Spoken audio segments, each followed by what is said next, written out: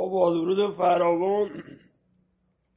الان برای زائرین کربلا دارو میفرستن غذا میفرستن کلی امکانات دارن میدن. هر ساله دیگه دیدیم دیگه. ولی الان تو ایران خودمون سیستان و بلوچستان یه آدمایی هستن. سال یه دفعه رنگ گوشت رو نمی‌بینن رنگ می‌بره نمی‌بینن رنگ لباس رو نمی‌بینن. ضعیفن دیگه. رشته ضعیف جامعه ایران.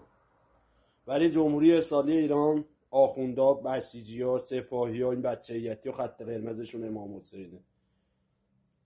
باور کن خود امام حسین الان زنده بود ایران رو با خاک یکسان کرده بود. یعنی خود امام حسین نفرت داشت از ایرانی ها. اینو تاریخ ثابت کرده بوده تو تاریخ. یعنی زنده میموند حمله که خار ایرانی میگاهید. ولی یه سری ها هنوزم که هنوزه قبول ندارن. این همه خرج این همه ریخت و پاچ برای سیرک اربعین نه خدایش الان مثلا منی که تو اروپا دارم زندگی می‌کنم که امام حسین رو نمی‌شناسه یا قبول نداره اصلا نشنیده عمراتش نمیگذره. یعنی زندگی نداره میره جهنم روزی نداره. با بس دیگه بابا کیرم تو ناموس این آخون این خسته شعرهایی که آخون کرده تو کلتون از کلتون هم بیرون نمیاد. بعد همه هم چی؟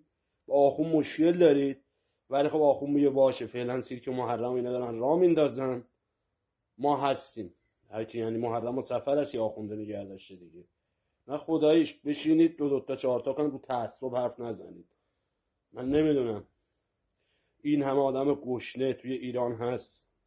چراغی که میگن به خانه رواس و مسجد حرام است. خود این کسکشا گفتن دیگه. ولی خب این چقدر میلیاردی هزینه می‌کنن برای سیرک محرم. یه قضاوت با خودتون دیگه.